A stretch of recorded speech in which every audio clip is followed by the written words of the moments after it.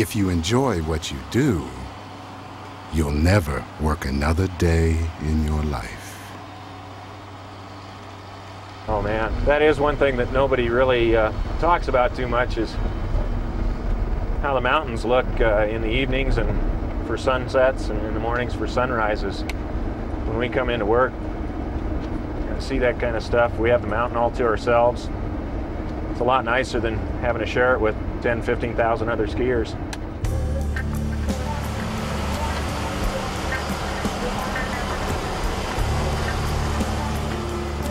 Grooming is the preparation of snow, putting it into a product that we can manage. It's a combination of, of a big video game, the ultimate off-road vehicle, and a piece of heavy equipment.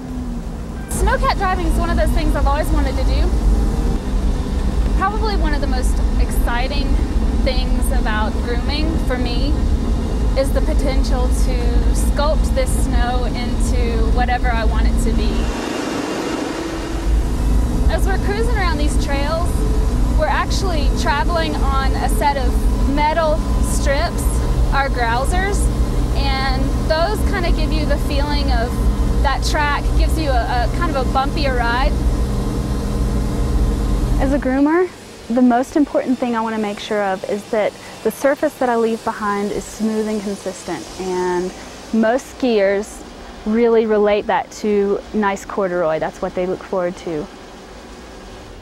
I tell my students it's like having a, a turbocharged palette knife because you're, you're dealing with a medium like snow that is constantly changing and grooming is a finesse thing. It's not burly macho stuff. The machine is doing the burly macho stuff and the tremendous light touch needed to be a good groomer.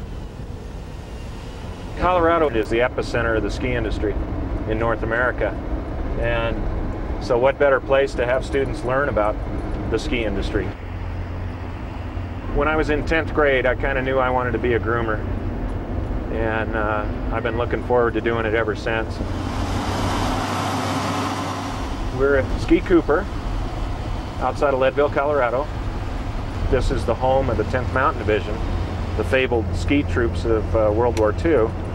You know, they came to the high altitude to get specialized mountain training for their troops. I think we're kind of keeping that, that spirit alive when we train the students at the same altitude, at the same location that the 10th Mountain Division troops trained at.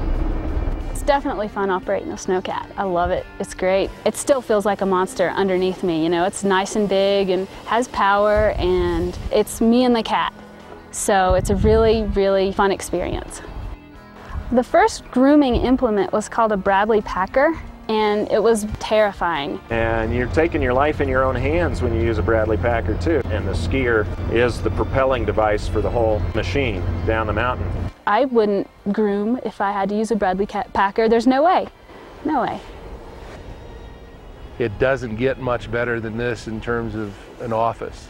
I'll put my office view against anybody in the country's.